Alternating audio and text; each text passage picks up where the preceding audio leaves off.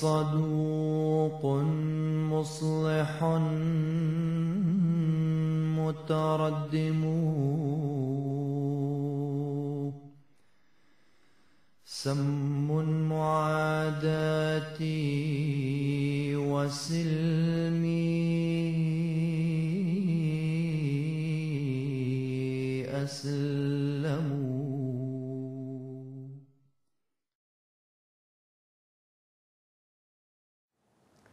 أشهد أن لا إله إلا الله وحده لا شريك له وأشهد أن محمدا عبده ورسوله. أما بعد فأعوذ بالله السميع العليم من الشيطان الرجيم. بسم الله الرحمن الرحيم. حضرات المشاهدين الكرام السلام عليكم ورحمة الله وبركاته. في الحلقة اللي فاتت من برنامج تعالوا نقرأ معا هذا الكتاب قرينا الجزء الأول من الفصل السابع من الكتاب بعنوان يصلحه الله في ليلة. والكتاب اللي نقراه مع بعض هو كتاب السيرة المطهرة اللي بيذكر بعض اللمحات من حياة وأعمال وأقوال حضرة مؤسس الجماعة الإسلامية الأحمدية سيدنا أحمد الإمام المهدي والمسيح الموعود عليه السلام. وعرفنا في الحلقة اللي فاتت إن الإمام المهدي كان بيعاني من أمر من الأمور كان بيعيروا بيه العلماء والأدباء في وقته وهو إنه ما كانش يعرف من اللغة العربية إلا مبادئها وقشورها. وما كانش يقدر يكتب مقالات أو كتب باللغة العربية. فدعا الله سبحانه وتعالى سبحانه وتعالى إنه يعلمه هذه اللغة عشان يكون أوحد أدباء عصره فعلمه الله تعالى أربعين ألف من جذور اللغة العربية في ليلة واحدة. وبكده اتحقق كلام سيدنا رسول الله صلى الله عليه وسلم إن الله تعالى هيصلح الإمام المهدي في ليلة واحدة. وأصبح بالفعل فارس ميدان الأدب. فكتب يتحدى الأدباء والعلماء اللي كانوا بيعيروه وطلب منهم إنهم يبارزوه ويناظروه فكتب العديد من الكتب باللغة العربية وبكده أقام الحجه عليهم في إنه فعلا من عند الله تعالى وما كان من المكا... من الكاذبين ولا من المفترين. ولكن لم يكن الأمر مجرد التفوق في البلاغة والبيان. لكن الأهم هو الإحاطة بعلوم القرآن والتفاضل في الخبرة بدروب الحكمة ومساك مسالك العرفان.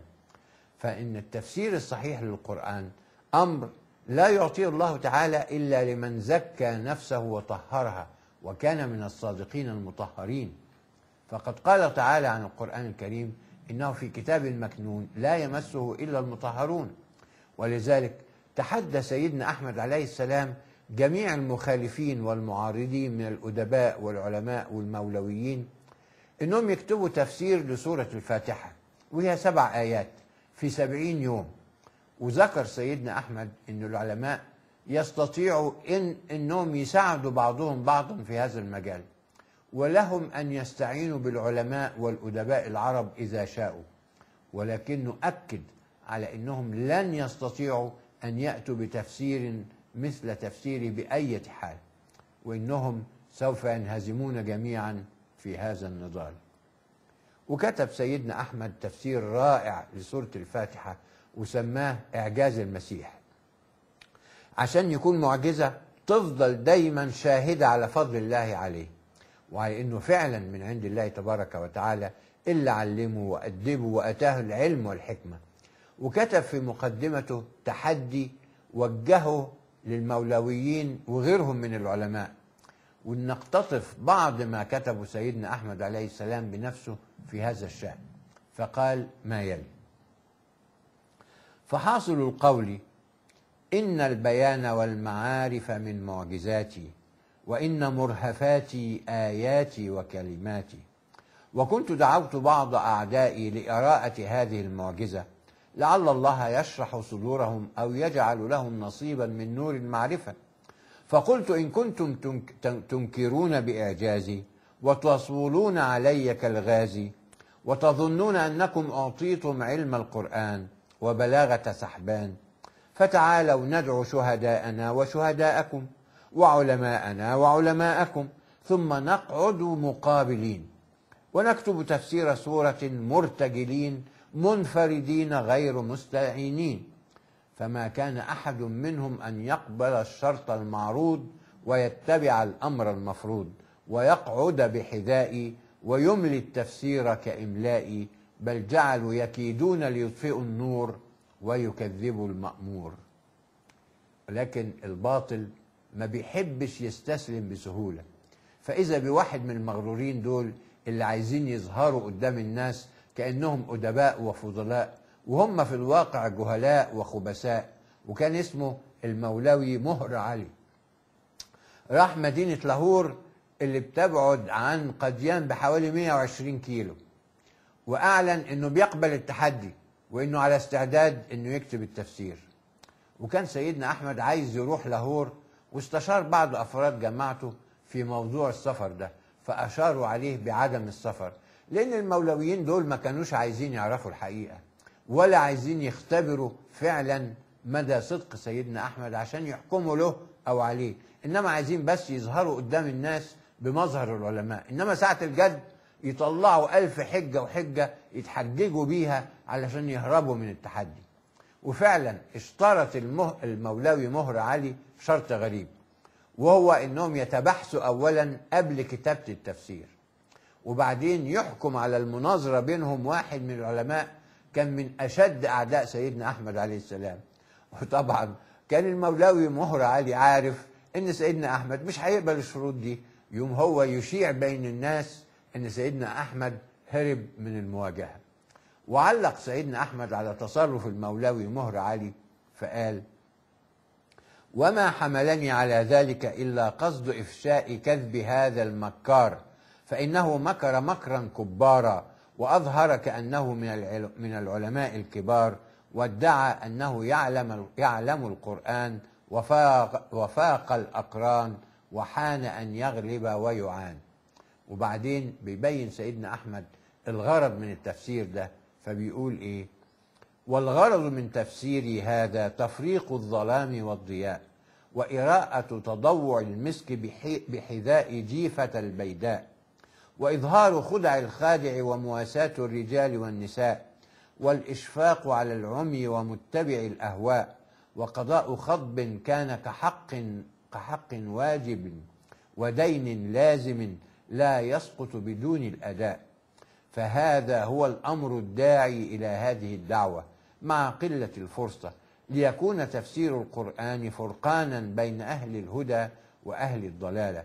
ولولا التصلف وتطاول اللسان وإظهار شجاعة الجنان آه، آه، شجاعة الجنان من هذا الجبان لمررت بلغوه مرور الكرام وما جعلته غرض السهام ولكنه هتك ستره بيديه فكان منه ما ورد عليه.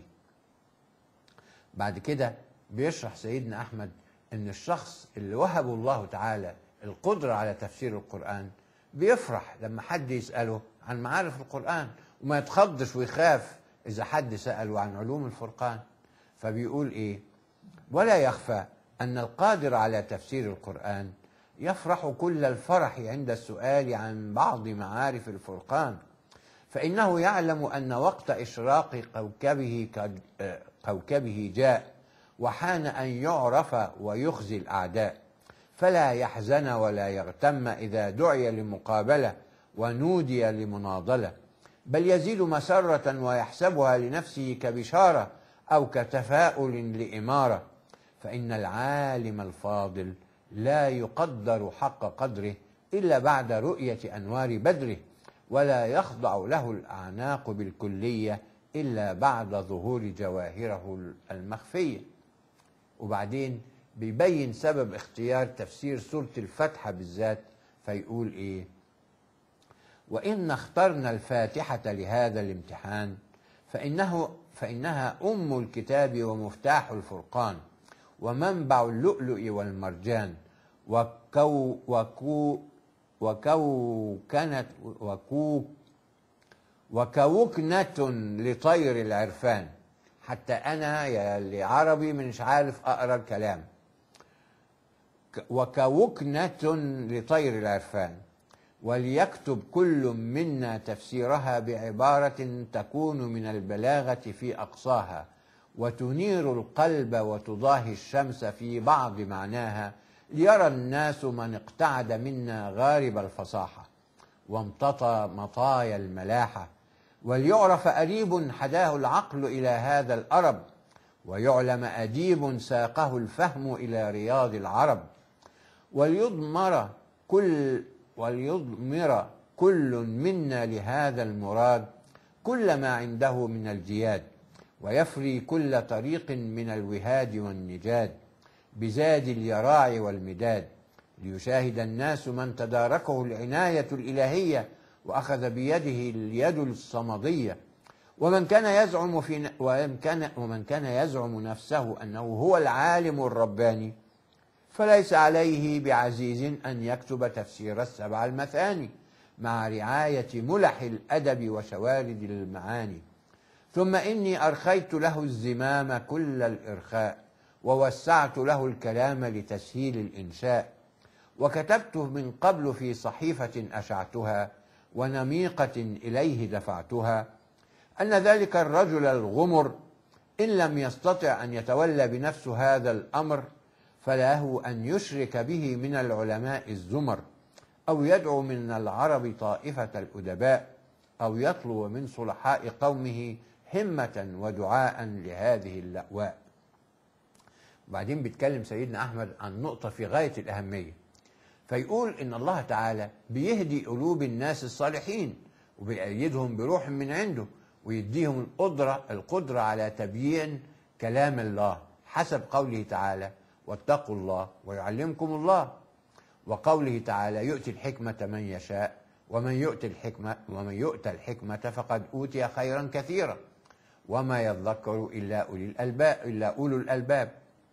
وطبعا لو كان هو والعياذ بالله من الكذابين والدجالين زي ما بيتهموا المخالفين والمعارضين. ما كانش الله تعالى أنعم عليه بتعليمه معاني القرآن ولا كان عرفه عرفه كنوز الحكمة والعرفان اللي موجودة في كتابه العزيز. ولذلك بيقول ثم من المسلم أن الله يربي عقول الصالحين ويسعدهم بالهداية إلى طرق الروحانيين ويذكرهم إذا ما ذهلوا معارف كلام الله القدوس وينزل السكينة عند الزلزال على النفوس ويؤيدهم بروح منه ويعضد بالإعانة على الإبانة ويتولى أمورهم ويميز ويميزهم بالحصاة والرزانة ويصرفهم من السفاهة ويعصمهم من الغواية ويحفظهم في الرواية والدراية. فلا يقفون موقف مندمة ولا يرون يوم تندم تندم ومنقصة ولا تغرب أنوارهم ولا تخرب تخرب دارهم. منابعهم لا تغور وصنائعهم لا تبور. ويؤيدون في كل موطن وينصرون ويرزقون من كل معرفة ومن كل جهل يبعدون ولا يموتون حتى تكمل نفوسهم. فإذا كملت فإلى ربهم يرجعون. فإن الله نور فيميل إلى النور وعادته البدور إلى المبدور ولما كانت هذه عادة الله بأوليائه وسنته بعباده المنقطعين وأصفيائه لزم أن لا يرى عبده المقبول وجه ذل ذلة ولا ينسب إلى ضعف وعلة عند مقابلة من أهل ملة. ويفوق الكل عند تفسير القرآن بأنواع علم ومعرفة. وقد قيل إن الولي يخرج من القرآن والقرآن يخرج من الولي. وإن خفايا القرآن لا يظهر إلا على الذي ظهر من يدي العليم العلي. فإن كان رجل ملك وحده هذا الفهم الممتاز فمثله كمثل رجل أخرج الركاز وما بذل الجهد وما رأى الارتماز فهو ولي الله وشأنه أعظم وذيله أرفع من همز الهماز ولمز اللماز. وما أعطي هذا الولي الفاني من معارف القرآن كالجهاز فهو معجزة بل هو أكبر من كل نوع الإعجاز. وأي معجزة أعظم من إعجاز قد وقع ظل القرآن وشابه كلام الله في كونه أبعد من طاقة الإنسان. وليس هذا الموطن الموطن إلا للمتقين ولا تفتح هذه الأبواب إلا للصالحين ولا يمسه إلا الذي كان من المطهرين. وإن الله لا يهدي كيد الخائنين. وبعدين بيقول إيه؟ ومن لم يعلم القرآن وما أوتي البيان فهو شيطان أو يضاهي الشيطان. وما عرف الرحمن وما كان لفاسق أن يبلغ هذه المنية العلية ولو شحذ إليها النفس الدنية. بل هو يختار طريق الفرار خوفا من هتك الأسرار وظهور العثار. وكذلك فعل هذا الرجل الكائد والمزور الصائد. فانظروا كيف زور وأرى التهور. وقال لبيت الدعوة وما لبى وقال عبيت العسكر للخصام وما عبى وما بارز بل خدع وخبى وإلى جحره أبى وتراءى مخيفا ضعيفا. وكان يري نفسه رجلا ببا وأخلد إلى الأرض وشابه الضب وما صعد وما ثب وجمع الأوباش وما دعا الرب وحقرني وشتمني وشتم وسب وتبع الحيل وما صاف الله وما أحب وما قطع له, له العلق وما جب وقال إني عالم والآن نجمه عال ونجم علمه أزب وكل ما دبر تب. والحقيقة الإنسان يستغرب من هذا الأسلوب العربي الخارق ويتعجب إزاي واحد هندي يقدر يكتب بالأسلوب الرائع ده. ومنين جات له المقدرة الفائقة دي على استخدام الكلمات العربية بالشكل البديع ده؟ وهل يمكن لواحد عربي ما تعلمش من اللغة الإنجليزية إلا مبادئها الأولية؟ وما كانش عايش في بلد بيتكلم اللغة الإنجليزية. ولا عمره راح يزور بلد بيتكلم لغة إنجليزية. ومع ذلك يتحدى الأدباء الإنجليز إنهم يكتبوا قدامه بأسلوب يفوق أسلوب شكسبير. فما بالك بقى إذا كان الشخص بيدعي كذبا إن الله تعالى بيوحي إليه. هل من المعقول إن الله تعالى ينعم عليه بالمواهب دي ويأيده بالقوى الخارقة دي؟ وهل يقدر المخالفين والمعارضين للجماعة الإسلامية الأحمدية إنهم يقدموا لنا مثل واحد من التاريخ الإسلامي الماضي كله يأيدوا به رأيهم. بعدين بيكمل سيدنا أحمد كلامه فيقول إيه؟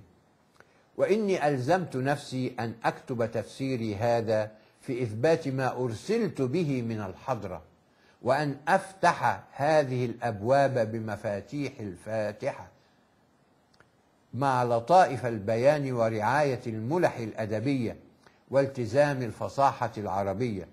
ومن المعلوم أن نمق الدقائق الدينية والرموز العلمية والإماضات والإشارات مع توشيح العبارات وترصيع الاستعارات والتزام محاسن الكنايات وحسن البيان ولط- ولط- ولطائف الإيماءات أمر قد عد من المعضلات وخض وخضب حسب من المشكلات. وما جمع هذين الضدين إلا كتاب الله مظهر الآيات البينات وماحي الأباطيل والجهلات وإن الشعراء لا يملكون أعنة هذه الجياد فتنتشر كلماتهم انتشار الجراد. ولكني سألت الله فأعطاني وجئته عطشان فأرواني فنحن الموفقون ونحن المؤيدون. تواتينا الأقلام كأنها السهام أو الحسام ولنا من ربنا كلام تام وظل ظليل فكل رداء نرتديه جميل ولنا جبلة لا تبلغها الجهال وقوة لا تعجزها الأثقال وحال لا تغيرها الأحوال ورب لا ترد من حضرته الآمال. فحاصل الكلام. إني من الله وكلامي من هذا العلام. وإني كتبت دعواي ودلائلها في هذا الكتاب لأسعف الخصم بحاجته وأنجيه من الاضطراب. فإن الخصم كان يدعوني إلى المباحثات بعدما دعوته لنمق التفسير في حلل البلاغة في حلل البلاغة ومحاسن الاستعارات.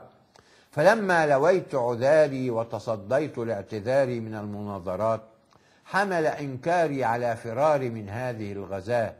وما كان هذا إلا كيدا منه وحيلة للنجاة ليعط- لي- ليستعصم من اللائمين واللائمات. وكان يعلم أن إعراضي كان لعهد سبق وما كنت كعبد أبق. ولكنه طلب الفرار بهذه المعاذير الكاذبة.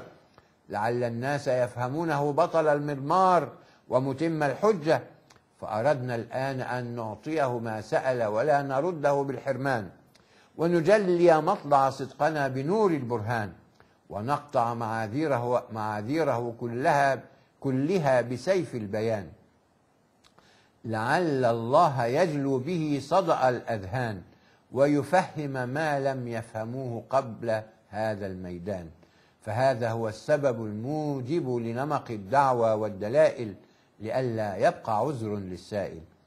وإن هذا التفسير جمع المباحثات مع اللطائف والنكات فاليوم أدرك الخصم كل ما طلب منا في حلل المناظرات مع أنه ترك طرق الديانات وتصدى للأمر بأنواع الاهتضام والخيانات. وبقي ديننا فعليه أن يقضي الدين كرد الأمانات.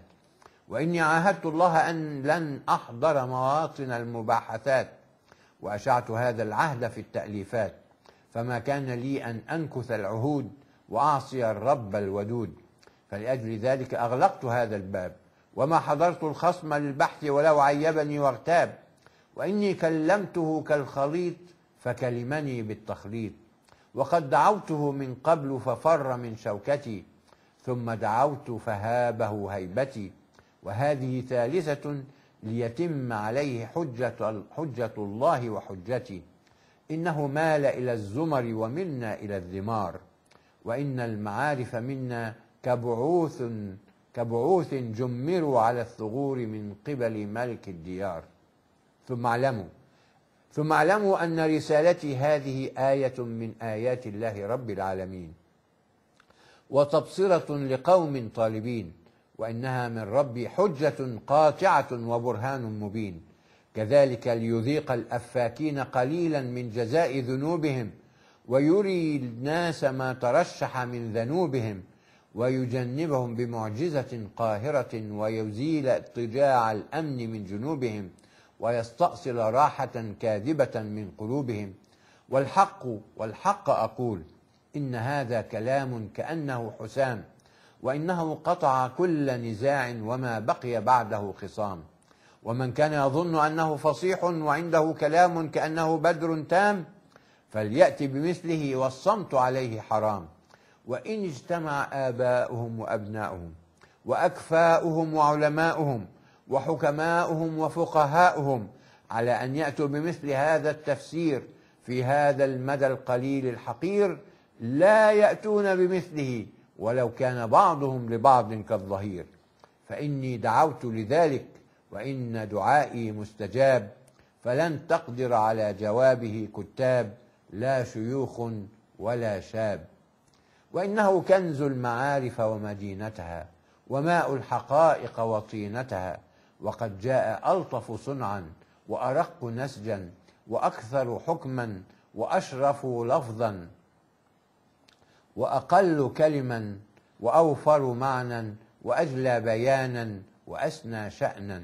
وما كتبته من حولي وإني ضعيف وكمثلي قولي.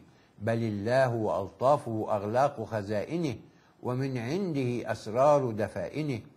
جمعت فيه أنواع المعارف ورتبت وصففت شوارد النكات وألجمت. من عرفه عرف القرآن ومن حسبه كذبا فقد مان. فيه باكورة العرفان ودقائق الفاتحة والفرقان. فيه بلاد الأسرار وحصونها وسهل الحقائق وحزونها وعيون البصيرة وعيونها وخيل البراهين ومتونها وذلك من بركات أم الكتاب. أم الكتاب. وما اطلعت عليها إلا بعد تفهيم ربي التواب. فإنها سورة لا تطوى عرصتها بإمضاء المراكب ولا يبلغ نورها نور الكواكب. ولما كان الظالمون نسبوني إلى الهزيمة أعوزني فريتهم هذه إلى تفسير سورة سورة الفاتحة لأخلص نفسي من النواجذ والأنياب. فإن صول الكلاب أهون أهون من صول المفتري الكذاب. وهذا من فضل الله ورحمته ليكون آية للمؤمنين وحسرة على المنكرين وحجة على كل خصم إلى يوم الدين وهدى للمتقين. وليعلم الناس أن الفوز بصدق المقال لا بالتصلف كالجهال والفتح بطهارة البال لا بعذرة الأقوال التي هي كالأبوال. وصلاح الحال بسلاح العلم والكمال لا بالاحتيال والاختيال. ورصدوا مواضعها كالصائد وإن هو إلا من أحكم الحاكمين وينصر من يشاء ويكفر الصالحين. فيندمر جريحهم ويستريح طليحهم ولا تركد ريحهم ولا تخمد مصابيحهم. ومنصوره يم- يملأ من علم الفرقان ولسان العرب كما يملأ الدلو إلى عقد الرك الكرب. وإنه أنا ولا فخر وإن دعائي يذيب الصخر وإن يومي هذا يوم يوم الفتح ويوم الضياء بعد الليلة الليلاء. اليوم خرس الذين كانوا يحضرون وغلت أيديهم إلى يوم يبعثون. وكنت أطوف حول هذه الأوراق كسائل يطوف في السكك والأسواق فأراني الله ما أراني وسقاني ما سقاني فوافيت دروبها كما هداني وأعطي لي ما سألت وفتح علي فحللت وكل ما رقمت فهو من أنفاس العلام لا من أفراس الأقلام. وبيكمل بعد كده فيقول ووالله إني ما قدرت على هذا بقريحة وقادة بل بفضل من الله وسعادة. وإن هذه المخدرة ما سفرت عن وجهها بيدي القصيرة ولكن بفضل الله وعناياته الكثيرة. فإنه رأى الإسلام كسقيم في موماه فيه رمق حياة ساقطا على صلاة على صلات ككظائف فلوات وعلاه صغار وعليه أطمار فأدركه كإدراك عهاد لسنة جماد. ورحض وجهه وأزال وسخ مئين وصب عليه الماء المعين فبعث عبدا من عباده لإتمام الحجة وأودع كلامه إعجازا ليكون ظلا للمعجزة النبوية عليه ألوف الصلاة والتحية ولا يمس منه منقصة شأن كلام رب الكائنات فإن الكرامات أضلال للمعجزات وكذلك دمر الله كل ما دمر العدا كالصائد وهدم كل ما بنوا من المكائد وأبطل كل ما حققوا مكيدة وأخر كل ما قدموا حربة وعطل كل ما نصبوا حيلة وهدم كل ما أشادوا بروجا مشيدة وأطفأ كل ما أوقدوا نارا وأغلق الدروب كلما أرادوا فرارا. فما كان بوسعهم أن يبارزوا كأبطال المضمار أو يخرجوا من هذا السجن بتسور الخنادق والأسوار. وما قدموا قدما إلا رجعوا بأنواع النكال حتى جاء وقت هذا التفسير الذي هو آخر نبل من النبال. وإنا كملناه بفضل الله ذي الجلال. وجاء أرسى وأرسخ من الجبال وصار كحصن حصين بني بالأحجار الثقال وإنه بلغ حد الإعجاز من الله الفعال وإنه محفوظ من قصد العدو المدحور الضال وانتصفنا به من العدا بعض الانتصاف وكسرنا خياما ضربوها وقبابا نصبوها في المصاف.